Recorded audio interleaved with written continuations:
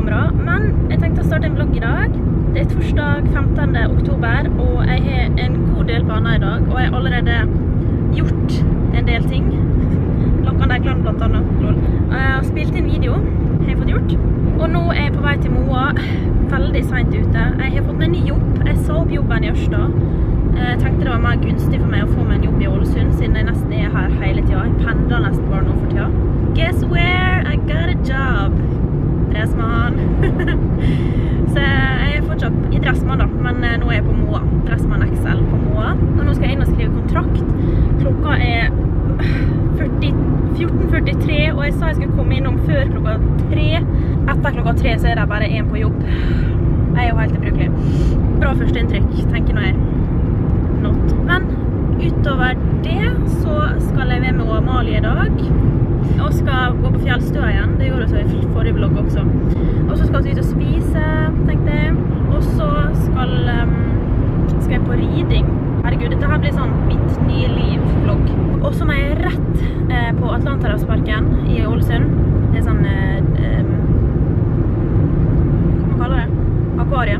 For å skal opptre.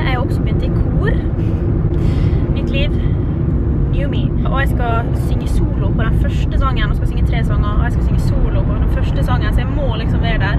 Og jeg er ferdig på riding klokka halv åtte. Og kvart på åtte så skal vi begynne å synge. Så jeg, jeg lurer på meg, Jeg tror jeg må gå litt før, da. Og Amalie skal bli med på alt, så da regner jeg med det blir filming. I kveld skal jeg ta sol. Hun driver fortsatt og prøver å rette opp huden min. Etter det igjen så må jeg øve på matteprøve, så jeg har full dag i dag. Ja, det er noen, for så vidt en gøy dag, da, men det blir, jeg skal dausliten i kveld. Jeg tenkte i hvert fall dere skulle få henge med, for det er ikke ofte jeg har så spennende dager. Heng med på mitt nye liv. Ny jobb, nye hobbyer, ny jakke. eh, ny jakke fra Sara. Jeg kan vise dere antrekket mitt etterpå.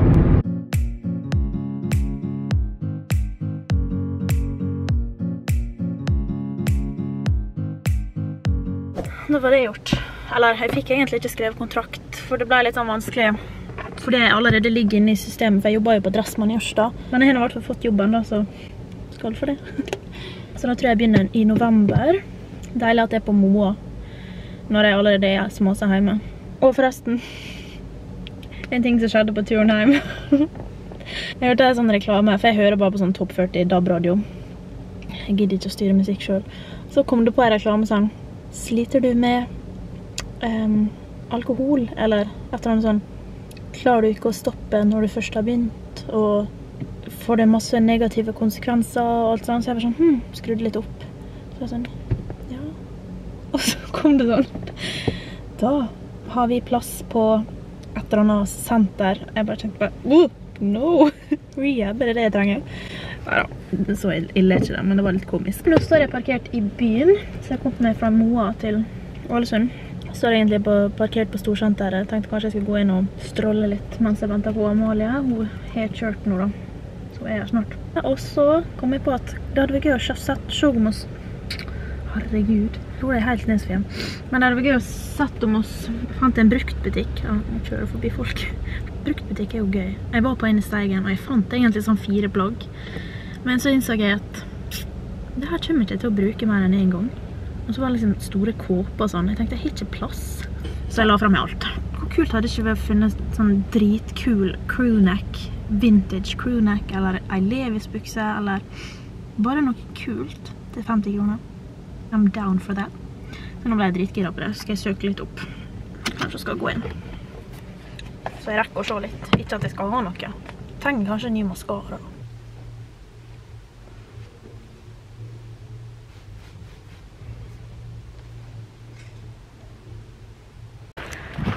Hei. det blir sånn eneste jeg kommer til å vlogge for tida. For jeg henger ingen andre venner. Sliten allerede, og så har jeg ikke begynt å gå trappene engang. Se, høst. Mm. Nye sko? Ja. Du ser ut som kommas. Ja, det det ligner. Men jeg synes det er mye mer behagelig enn Commons. Ja, det er sikkert så mye sand. Det så godt da. Innspo. Være god det også. Visste du det, Amalie? Ja, ja, ja. Giske. Som en liten pannekake der. Valderøy, der bor jeg. Bak der bor Amalia. Og her har stoppa litt sist med. Nå har ikke trappene begynt engang. Eller jo, de begynte jo for så vidt der, da, men er ikke det bra nok utsikt, da? Kanskje på snø? Nei da. Outfit of the day. Ny vesk, veske og jakke fra Sara. Ny buks fra Gina. Nikki Studios. Jævlig kul. Og chunky boots. Toppene fra Gina. Skoene fra Nelly. Jeg gleder meg til du skal filme meg på hesten. Ja, jeg er jo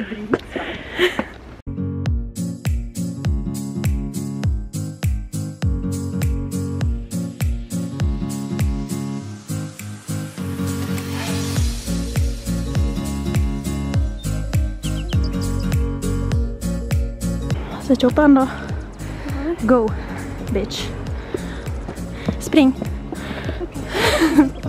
ja.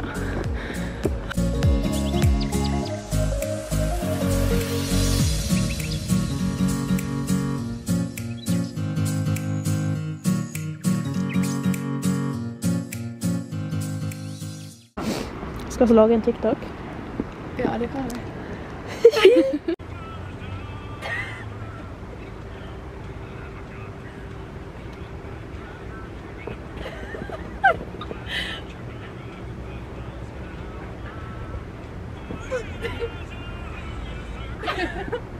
Nei, den var bra. Bra nok. Sliten. Jeg glemmer det sjøl. Så kose oss i varmen.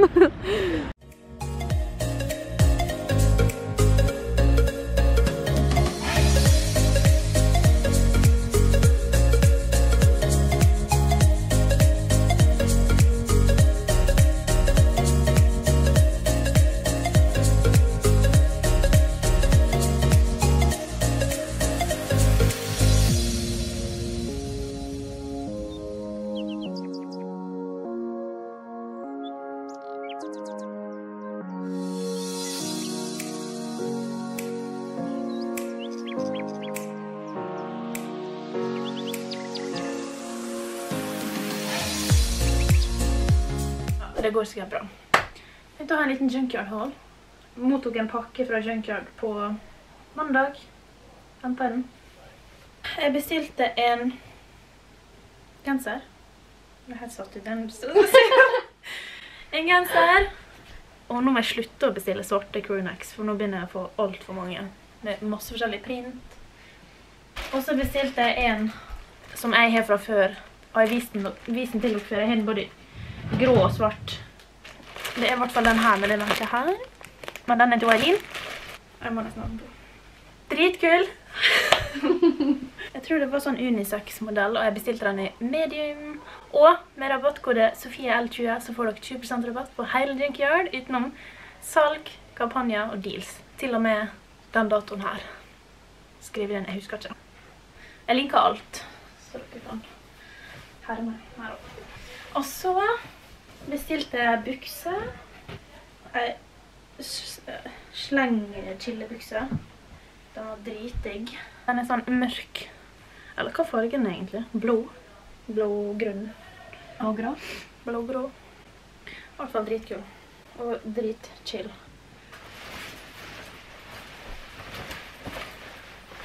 Og jeg syns den var dritkul. Det er litt sånn tjukkere bomberjakke med en krage som er skikkelig sånn puffy.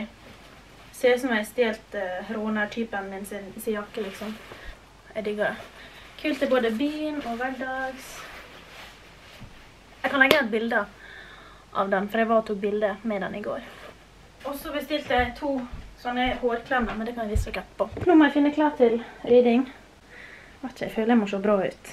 Nå begynner jeg å få skikkelig nerver. Jeg har ikke ridd siden 7. klasse, tror jeg. Og jeg har jo sagt at jeg kan å galoppere. Jeg, altså, jeg kan jo det. Jeg gjorde jo det masse da. Men eh, det er jo dritlenge siden da. Ja, ja, det er spennende å se. Og så er det du, du der til å vitne alt som kan gå galt. Jeg skal få alt. Ja. Det begynner å hanke tennene, liksom. Jeg skjelver.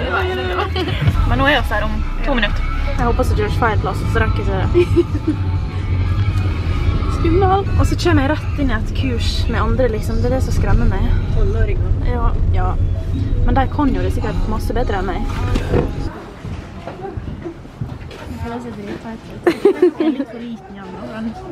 Den satt godt.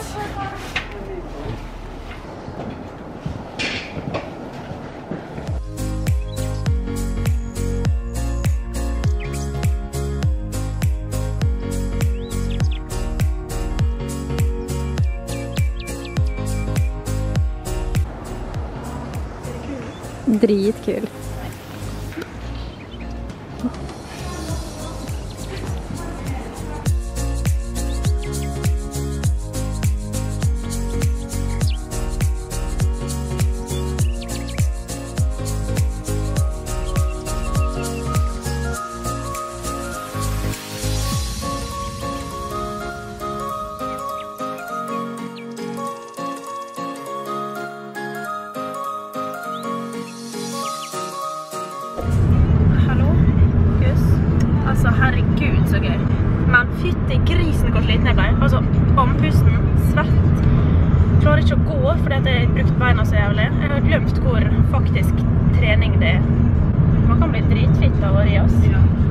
Var sjukt.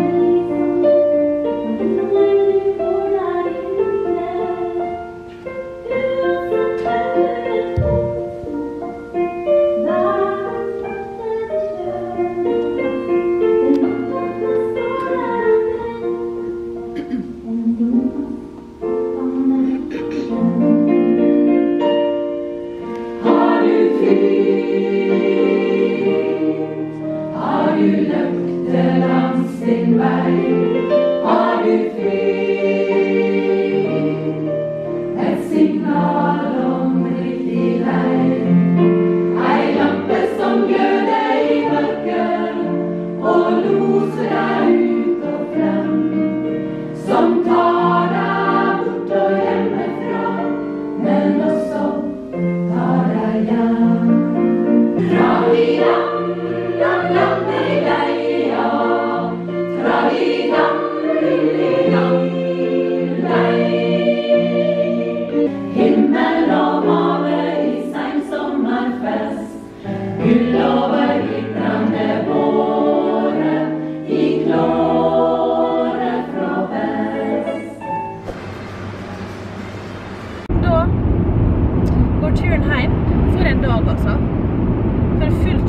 dagen. Men herregud, for en gøy dag. Det har vært en skikkelig bra dag. Og sånne dager må ikke man skyve under eh, teppet. Skue under en det er et ordtak jeg leter etter, men jeg kommer ikke på det. Men i hvert fall skikkelig bra dag. Jeg har fått gjort masse. Og nå ikke så bra, men jeg skal hjem og gjøre på matteprøve og vaske rommet mitt, eller støvsuge. Vaskedama var der i dag igjen, men som sagt, eller som vanlig, så ligger jeg og sover, og da kommer ikke den på rommet mitt. Og så har jeg litt lyst til å legge ut den der matnyheter-videoen da, men jeg vet ikke om jeg rekker å redigere og legge den ut, og øve på prøve, for jeg må legge meg også på et eller annet tidspunkt. Jeg skal opp grytidlig. I morgen skal jeg til legen også, og på Moa med en annen venninne. Bra dag, bra dag glad i, blogg, glad i blogger, og jeg følte jeg blogger masse denne gangen også, i forhold til hva jeg bruker å gjøre. Eller i forhold til hva jeg har gjort i det siste, i hvert fall. Øh, nettopp tatt på tidenes klissete mm, fuktighetskrem. Eksem, you know. Nei, det var godt å hoppe inn i sweats og slenge bak hår i en dot. Ta seg litt øl. Og nå burde jeg egentlig jobbe med matprøve, men jeg har veldig lyst til å få ut den testa matnyheter-videoen. Det er torsdag, og da passer det godt at det kommer i dag, og så kommer den vloggen her på søndag. Jeg føler fredag og søndag blir litt fornærmet. Pluss at jeg føler ingen ser på videoer på fredager. Men jeg burde på matprøve, som jeg har i morgen. Altså, jeg må ha 50% for å stå, og det er ikke karakter. Og jeg står jo uansett. Bank i bordet. Sist gang hadde jeg heller ikke øvd, og da fikk jeg 88%. Men nå er det litt mer ting jeg ikke kan da, som er helt nytt for meg. Men ja, sitter og skal redigere videoen. Føler at den ble gøy. Det gjenstår å se da når jeg redigerer den. Eller føler den var liksom bra som sånn tester matnyheter. Jeg lov å si det. Skryte litt av meg selv. Nei, og så ender det opp med å være dritdårlig. Men da får dere vite det. Jeg føler den vloggen her med ble litt gøy. Jeg tok massevis, masse, massevis av bilder i går. Jeg lagt ut TikTok tre dager på rad. Nei, nå Sofia. Nå er du flink, altså. Hadde du bare klart dette på skolen? Du har 100 nye likes på Tinder. Tinder gull for the win. Jeg er cirka ferdig å klippe ned videoen, men klokka er halv tolv, så det blir litt for sent. For jeg må liksom legge på alle disse effektene, og så må jeg i tillegg publisere den. Så det blir liksom over klokka tolv uansett. Hvis jeg legger ut vloggen først Det går jo. Vloggen kommer på søndag. Denne her kommer på neste torsdag. Klarer jeg å vente så lenge med å legge ut den? Jeg likte den godt. Det var bra. Jeg så gjennom videoen nå. Den er artig. Og morsom. Gå inn og se den. Eller gled dere til torsdag, må jeg vel si da. Siden denne her skal ut først. Jeg er motivert til å lage en ny video nå. Hmm, hva jeg skal lage da? Kommenter videotips. Det er sikkert ingen som kommer til så langt ut i videoen. Jeg er sikker på denne vloggen her blir to timer.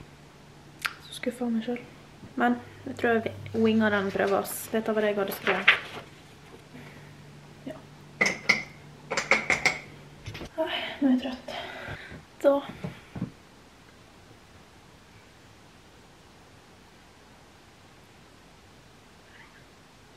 herregud.